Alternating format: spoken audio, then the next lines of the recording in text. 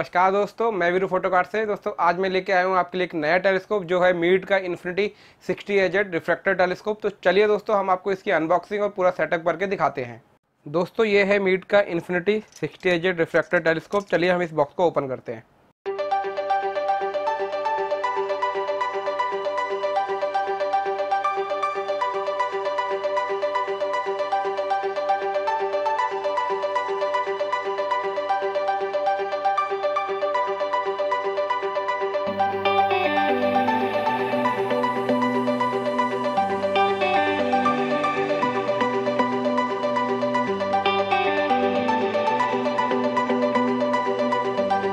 दोस्तों, ये है मीट का इन्फिनिटी 60 एजेड टेलीस्कोप। ये सारे एक्सेसरीज के अंदर निकलती है। इसके अंदर है मैनुअल और सीडी और कुछ नहीं है इसके अंदर मैनुअल और सीडी है। इसको हम साइड रख देते हैं। अब आते हैं हम अपने एक्सेसरीज के बारे में। एक्सेसरीज में ब्लू कलर का बहुत ही खूबसूरत 60 एम का ट्यूब ये है इसका ट्राईपॉट और इसके साथ में है red dot finder scope diagonal 9 M mm का eyepiece, twenty six M का आई पीस, और ये है 2x का बारलो एक्सेसरी ट्रे और ये स्क्रू। तो चलिए दोस्तों सेटअप करने के लिए सबसे पहले शुरुआत करते हैं अपने ट्राईपॉड से हम। पहले साथ ट्राईपॉड के लेग ओपन करने हैं पहले हमें। तीनों लेग खोल लेंगे। लेग भी एडजस्टेबल है। सपोज़ मानो हमें फुल हाइट पे नहीं करना है, इस हाइट पे करना है तो आप इस हाइट पे इस्तेमाल कर सकते हैं। ठीक है, हम अभी फुल हाइट पे करते हैं इसे, तीनों लेग्स को।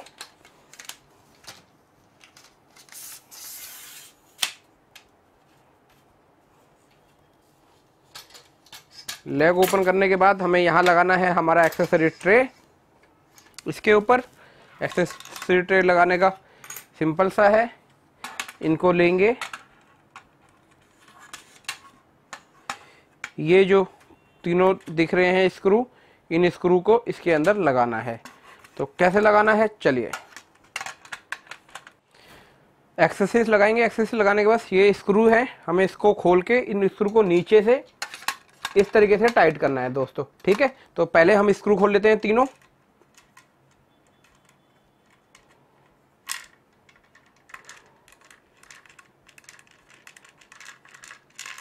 तीनों स्क्रू खोल लिए हमने, अब इसको एक एक एक करके इस तरीके से ये स्क्रू को यहाँ रख के और टाइट कर देंगे।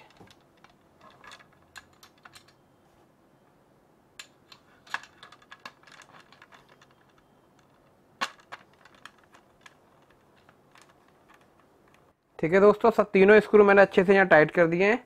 अब ये हमारा ट्राईपेड भी इससे बैलेंस हो जाता है और अपनी हम जो एक्सेसरीज है, वो हम यहाँ पे आराम से रख सकते हैं, जिससे हमारा इधर उधर नहीं जाएगा। दोस्तों, अब ये हमारा जो ब्लू कलर का ट्यूब है, इसको लगाएँगे ट्राईपोर्ट के ऊपर। सिंपल सा इस जो रोड है, इसको इसके अंदर फंसाना है और ये मीट जो है, वो सीधा होना चाहिए। तो इस प्रकार से पहले हम इस रॉड को इसके अंदर फंसा लेते हैं। इससे बाद हमें इसको सेट करने में बहुत हेल्प मिलेगा। तो पहले इसको पूरा लूज कर लेंगे हम।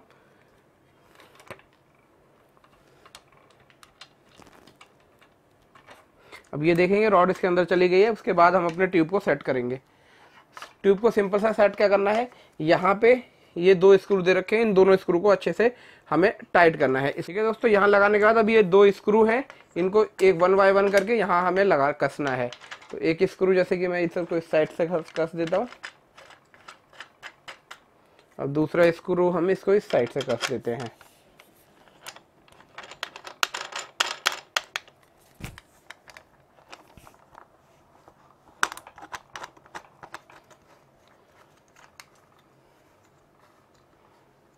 ठीक है। दोनों स्क्रू अब हमने कस दिए हैं अच्छे से। ठीक है दोस्तों, अब इस नोब को अभी हम अगर टाइट नहीं करते तो हमें जिस पोजीशन पे बैलेंस करना है, उस पोजीशन पे ये बैलेंस हो जाएगी। जैसे कि हमें इस पोजीशन पे सपोज़ मान लो इसे बैलेंस करना है, इसको आप यहाँ से टाइट कर दीजिए। अब आप देखेंगे ये कहीं नहीं हिलेगा, ठीक है? तो इसीलिए हम इसको पहले लूज करते हैं, थोड़ा डाउन पे रखते हैं। इस प्रकार से हमने इसको रख दिया। अब हम इसके आगे से निकालेंगे कैप लेंस कैप और सेम प्रकार से जहाँ पे हमें डायगनल लगाना है, वहाँ पे भी दो कैप लगे होते हैं। इन दोनों कैप को आगे पीछे से हटा देंगे। उसके बाद ये रहा हमारा फाइंडर स्कोप फाइंडर स्कोप लगाएँगे। फाइंडर स्कोप लगेगा यहाँ पे। तो यहाँ पे भी दो स्क्रू दिए हुए हैं दोस्तों। इन दोनों स्क्रू को पहले हम लूज कर देते हैं। लूज करने के बाद हम यहाँ पे अपना फाइंडर स्कोप लगा देंगे। मैं दिखाता भी हूँ आपको कौन से दो स्क्रू हैं जो हमने यहाँ पे ये दो स्क्रू हैं, इन दोनों स्क्रू को हटाना है। उसके बाद हमारा finder scope as it is यहाँ इन दोनों ही स्क्रू के माध्यम से हमें कस देना है। ठीक है दोस्तों, दोनों स्क्रू मैंने यहाँ पे टाइट कर दिया। अब दिखा देता हूँ आपको कौन से स्क्रू मैंने यहाँ पे टाइट किए हैं। ये देखिए, ये दो स्क्रू हैं जिनको टाइट करना है और अपना फाइंडर स्कोप इसके ऊपर रख देना है। रेड डॉट फाइंडर स्कोप है, जो बहुत अच्छा रहता है हमें ऑब्जेक्ट ढूँढने के लिए। इसमें ऑन ऑफ़ का बटन ये पोजीशन पे दे रखा है। ये पोजीशन पे ऑन ऑफ़ का बटन दे रखा है। अगर आपका फाइंडर स्कोप आपके आईपीस के साथ अलाइन नहीं है तो ये लेफ़्ट राइट अप डाउन के लिए दे रखे हैं। तो आप इससे अपना फाइंडर स्कोप आईपीस के साथ अलाइन कर लेना। आईपीस के बाद आईपीस लगाने का सिंपल फंडा है। सबसे पहले डायगनल लगाना है हमें। इस, दोनों स्क्रू को लूज करता है। दोनों स्क्रू को हमें लूज करना है। लूज करने के बाद सिंपल सा डायगनल यहाँ सेट कर दीजिए। उसके बाद स्क्रू को टाइट कर दीजिए। दोनों ही स्क्रू को अच्छे से टाइट कर दीजिएगा, ठीक है? टाइट करने के बाद आपको इसके ऊपर सिंपल आईपीस लगाना है। आईपीस लगाने के लिए जैसा मैं हर वीडियो में बताता हूँ, सबसे पहले बड़ा आईपीस लगाएँ, आपको ऑब्जेक्ट ढूँढने में आसानी होगी। इस स्क्रू को लूज कीजिए। लूज करने के बाद एजिटीज आईपीस यहाँ डालिए। एजिटीज आईपीस यहाँ सेट कीजिए। इस तरीके से। ये दोस्तों 26 सिक्स mm का आईपीस मैंने लगा दिया है। अब आपको ऑब्जेक्ट ढूंढना है, आप ढूंढिए। सिंपल दोस्तों, इसको आप डे में अलाइन कर लीजिएगा अपने आईपीस के साथ में। तो फाइंडर स्कोप को आईपीस के साथ में अलाइन होना बहुत ज़रूरी है, जिससे आपको नाइट में बिल्कुल परेशान होना नहीं पड़ता है। इसमें रेड डॉट लाइट है, जो आपके ऑब्जेक्ट पे नाइट पे, जैसे हमें मून देखना है सैटर्न देखना है, उसके ऊपर ये रेड डॉट को सेट कीजिए देन उसके बाद सिंपल सा आप आईपीस में देख सकेंगे। और यहाँ पे देखने के टाइम पे हो सकता है आपको चीज़ क्लियर ना दिखे तो ये अपना फोक्सिंग नोब से हम अपने ऑब्जेक्ट को एडजस्ट करेंगे। फोक्सिंग नोब से हम अपने ऑब्जेक्ट को फाइन करेंगे। जिससे क्या है, हमें पहले बिलर दिख रहा होगा, वो स्लोली स्लोली आप इसको मूव करेंगे तो आपको बहुत अच्छा जो व्यू है आपके ऑब्जेक्ट का दिखेगा। और हाँ दोस्तों, काफ़ी फ्रेंड होते हैं वो जो जल्दबाजी में इसको मूव करते हैं। तो ज़्यादा जल्दबाजी में हमें इसको मूव नहीं करना है, क्योंकि ज़्यादा जल्दबाजी में हमारा ऑब्जेक्ट कितनी जल्दी निकल जाता है, हमें नहीं पता चल पाता। तो इसको थोड़ा स्लोली स्लोली फ़र्स्ट टाइम पे आप स्लोली स्लोली यूज़ कीजिएगा तो आपका ऑब्जेक्ट बिल्कुल फाइंड हो जाएगा। दोस्तों, आप इस टेलीस्कोप को दिन में भी बहुत अच्छे तरीके से एंजॉय कर सकते हैं। आपको वर्ड कोई दूर दिख रहा है, दो किलोमीटर, चार किलोमीटर, वो आप अच्छे से देख सकते हैं। कोई बिल्डिंग पे देखना है, या आप कहीं भी ट्रेवल करने गए हो, इसको साथ लेके गए हो तो आप वहाँ पे भी इसको ले जाके एंजॉय कर सकते हो। ठीक है दोस्तों, अब अगर नाइट में आपको मून मिल गया twenty six M M eye से। तो उसके बाद आपको उसे और जूम करना है। उसके लिए क्या करेंगे हम? इस आईपीस को यहाँ से हटाएँगे।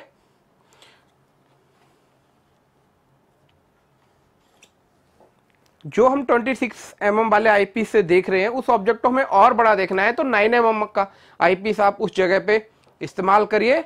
इस तरीके से लगा के इसे टाइट कर दीजिएगा। तो जो आपका ऑब्जेक्ट है, वो आपको और भी खूबसूरत दिखेगा।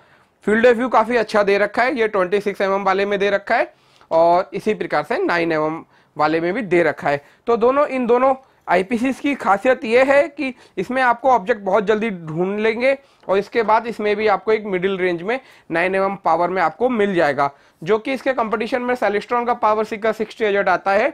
उसमें 20 एम का आईपीस आता है और साथ में आता है फोर एम का आईपीस तो हम उसमें 20 एम का आईपीस तो बहुत अच्छे से इस्तेमाल कर सकते हैं, पर फोर एम का आईपीस पिक्चर को ज़्यादा बिलर कर देता है।